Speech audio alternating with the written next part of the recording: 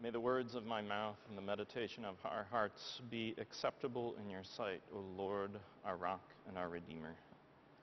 Amen.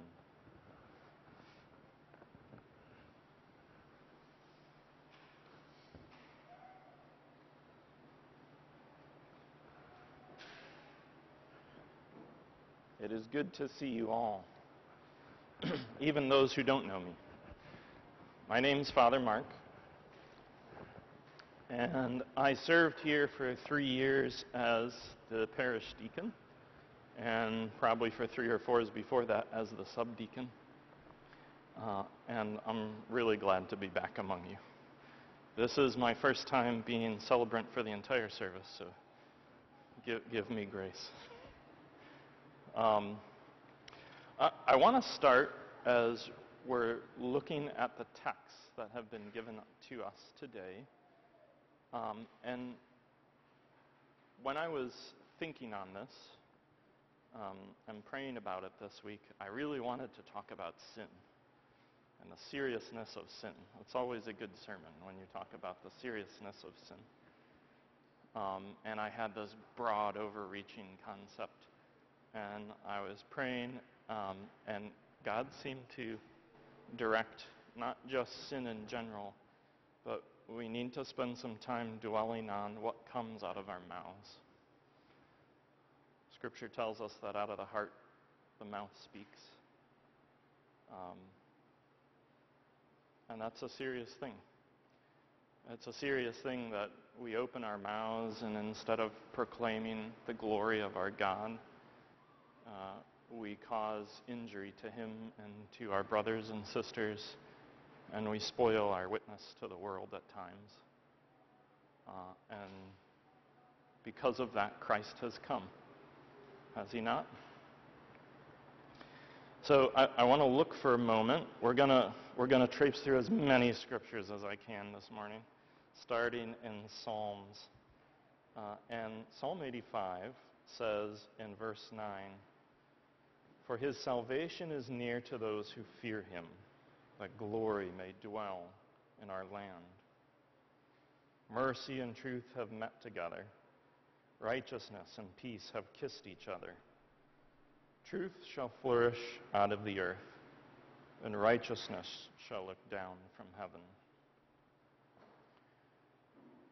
When it talks about salvation being near to us, that word has has such incredible richness beyond what we as English readers pick up immediately, I think. You know, that, that word both talks about the salvation of our souls and the eternal realities of what Christ has done for us. Um, but it's not a word that gives us the hope of a fire insurance plan.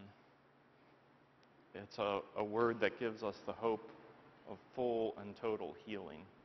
And that's, it's the same word in the Greek that we see translated English, both salvation and healing. And the healing is not just for the time to come, although it will be in total then, for this time as well. Our Lord loves us so much. He would not have us walk all the way through life bearing every burden and mark of the sin we have created and committed and those sins that have been committed against us. He loves us too much for that. And, and this is an important concept, too, in that psalm, where it talks about the reason salvation is close to us is so that his glory may dwell in the land. How great it is a thing that God's glory dwells in this land because of us. That's a, a lifetime worth of meditation there. That our presence in an area brings His glory to that land. And it's not just glory to the people who are lost, it's glory to everything there. In Ephesians 1, Paul starts out And he says this.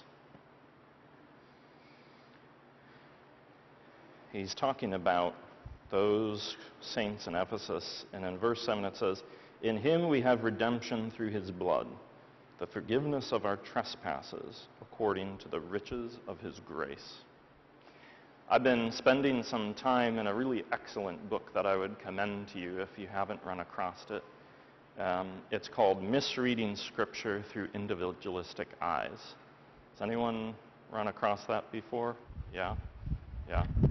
Um, it's, it's really great. And in there, it talks a little bit about the fact that the scripture, looking at it from the cultural viewpoint of the East, is riddled with patronage language. A patron and a client, and the patron does things for the client that the client cannot do for himself.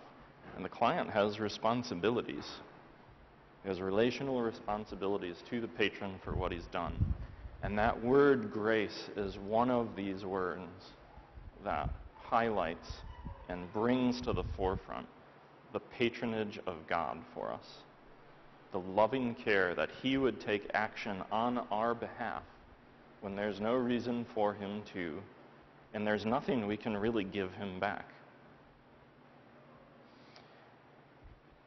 the, the word grace that we translate is this specific word, the, the gift of a patron. And, and in that setting, the responsibility of the client, who are all of us, is not to give things back to the patron because we can't. It's simply not possible. It's beyond our reach. It's to turn around and tell everyone else what the patron has done for us. I think you all are focused on that this summer. You've got some relational evangelistic classes and training going on. Evangelism is done at its fullness when we try not to convince others of the truth of God, but we bear testimony. We are faithful witnesses, as our liturgy tells us, to what God has done for us. So, what's the end goal? What's the end goal that's brought up in all of this? If I can find my marking again.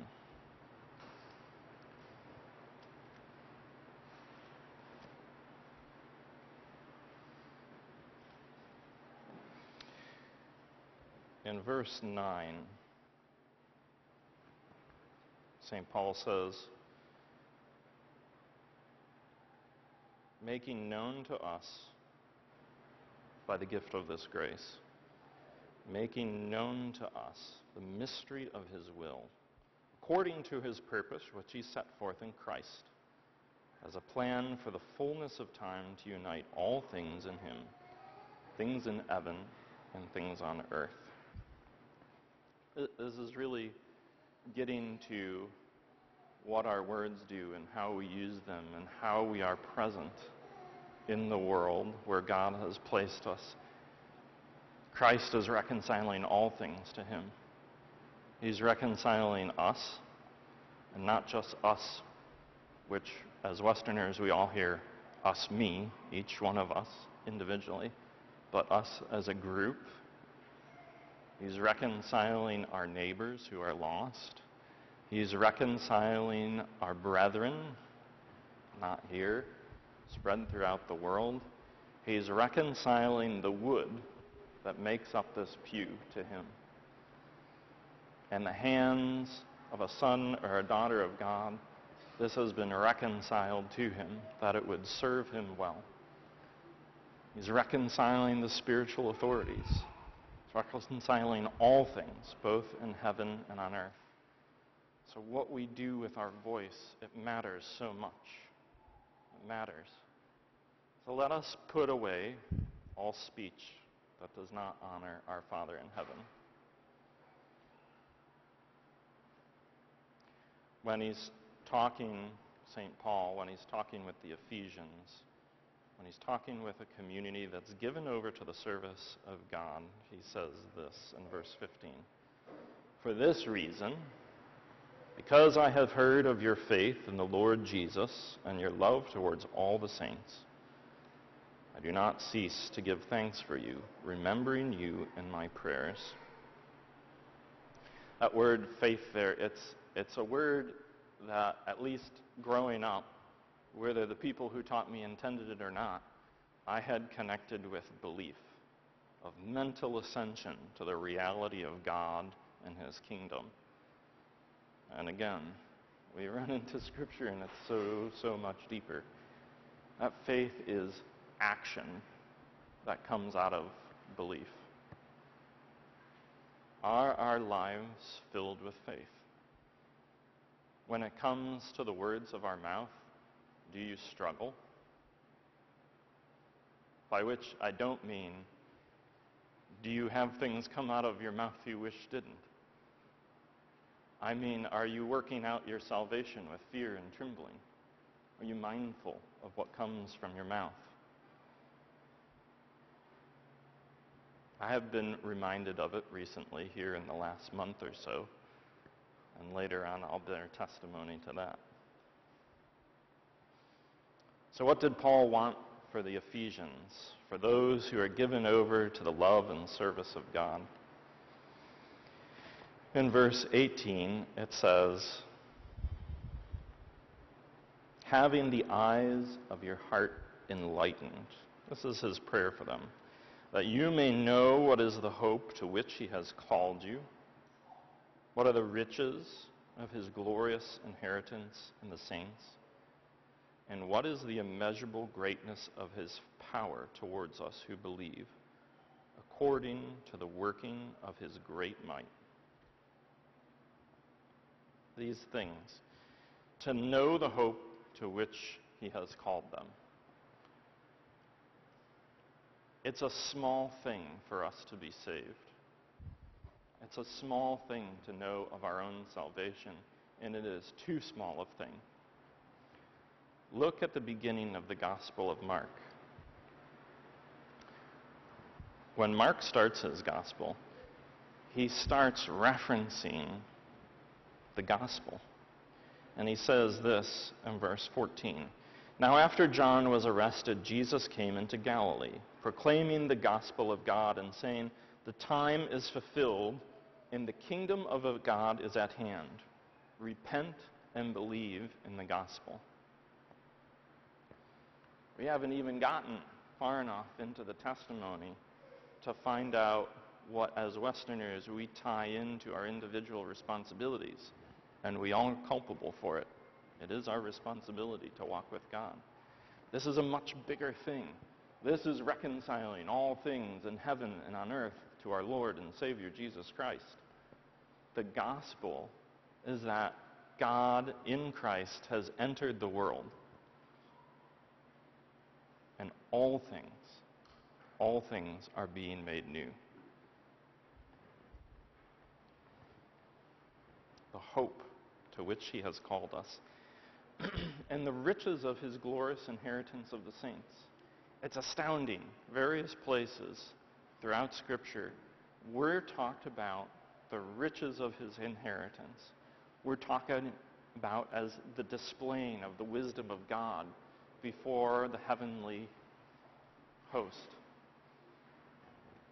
I don't know about you, but I'm a mess. And it's a great relief to me that someone once reminded me that in the service he has called me to, in the good works he has prepared me for, he took into account my foolishness and my ignorance, my stupidity. He took into account my rebellion. How good it is that he has called us to this. He has called us to be riches for him. Look down at your hands for a moment. We're Anglicans, right? So we do things physically. Look down at your hands. And as you look at them, I want you to consider this. You are riches for him, and he delights in the work of your hands.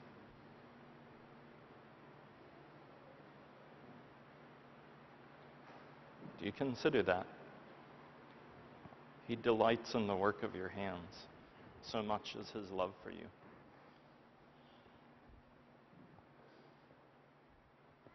Finally, Paul wants them to know the immeasurable greatness of his power towards us who believe. And he grounds that in the resurrection of our Lord and Savior, who he has seated at the right hand of God.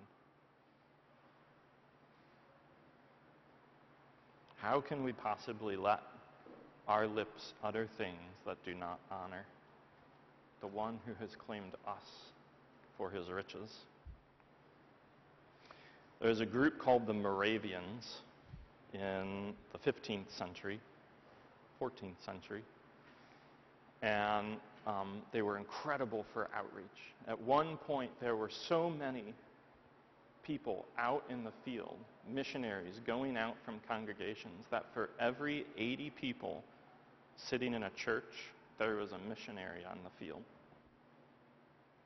That's incredible. That's a lot of people going out to the world. Um, and while two of them were leaving on the ship, they called something back to shore.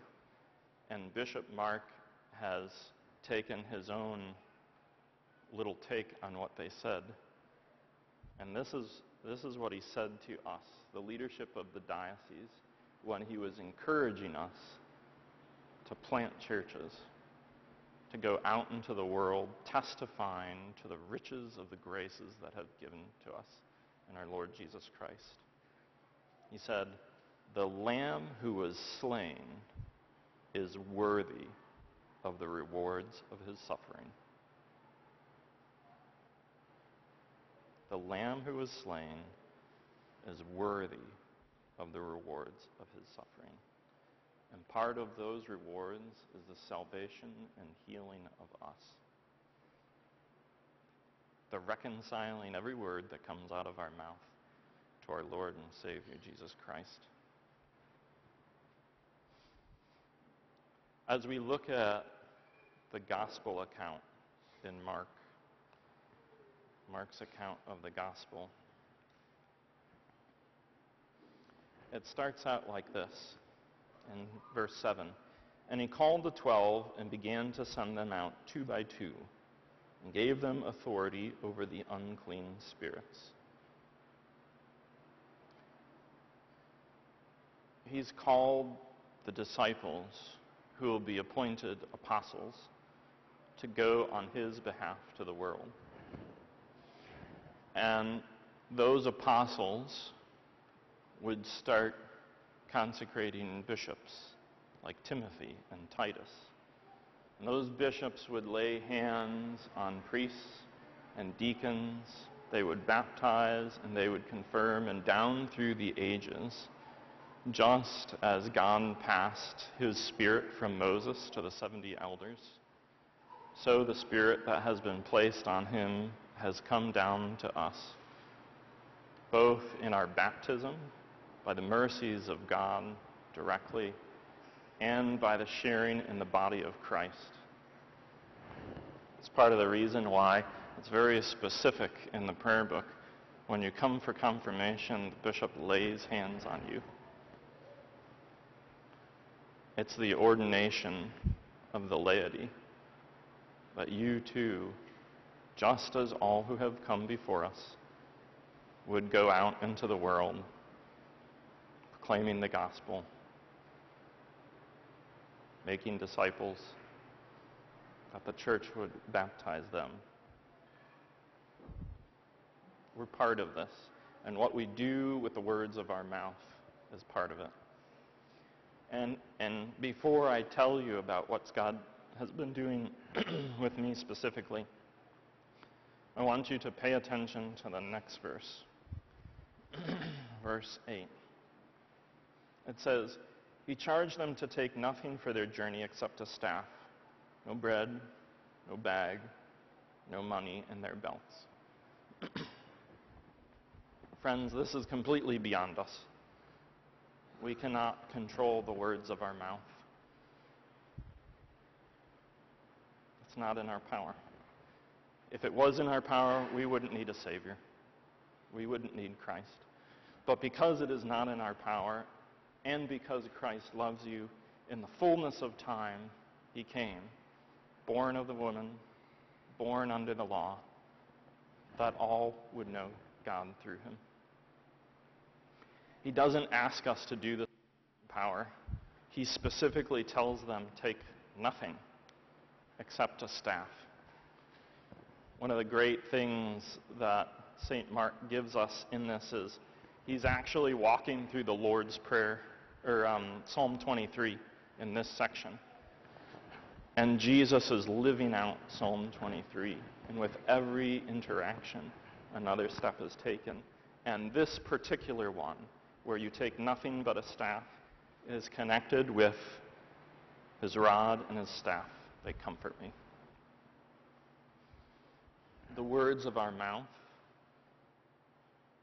will only be governed and praise him continually if instead of relying on ourselves, we rely on him. I'm part of a group, um, a clergy care group, and one of the things we've been invited to in this last month is to continually attend to Christ's presence with us.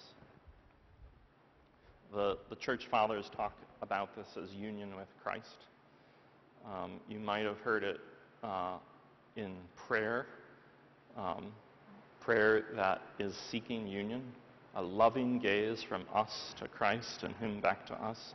That's a prayer without words often. It's dwelling with Him. And we were told as we're going about it throughout our days, be mindful of are you in the will of Christ? Constantly be turning back to Him as if He's right beside you or right in front of you, looking at Him for all guidance, for all aid.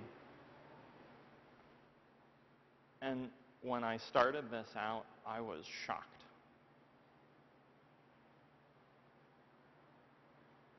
There were two days. It was like a gift to him at the beginning of this effort. We've all, we've all covenanted together and set our hearts towards this, that we would live life from now on this way.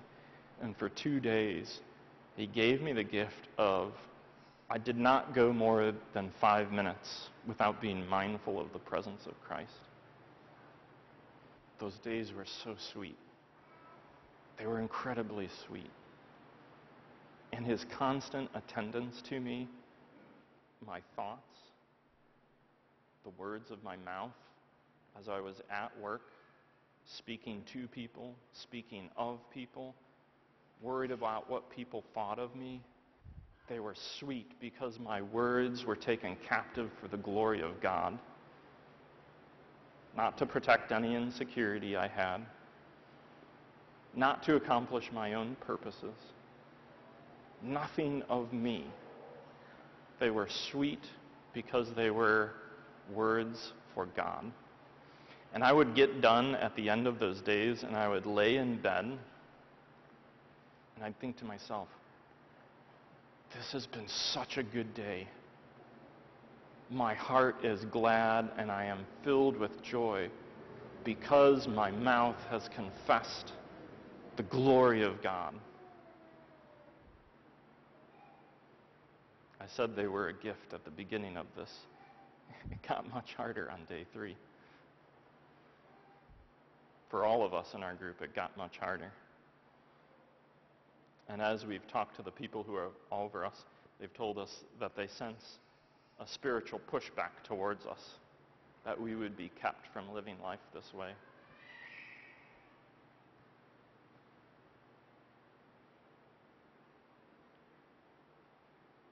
We're, we're coming to a time of prayers for the world and for confession, and then we'll come to the peace.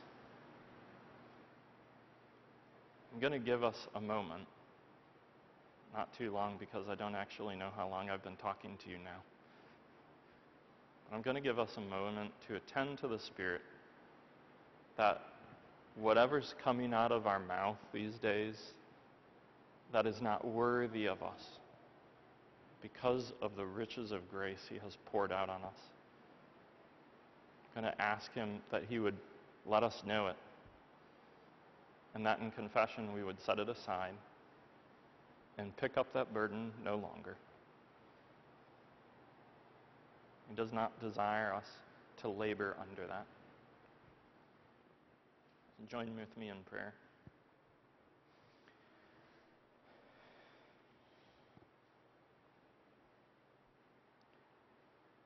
Father, I ask for us and for your whole church that you would have mercy on us. That we would not strive under our own efforts, but receive your yoke. That we would be carried up, buoyed, and directed by your Spirit. That you would heal us and save us.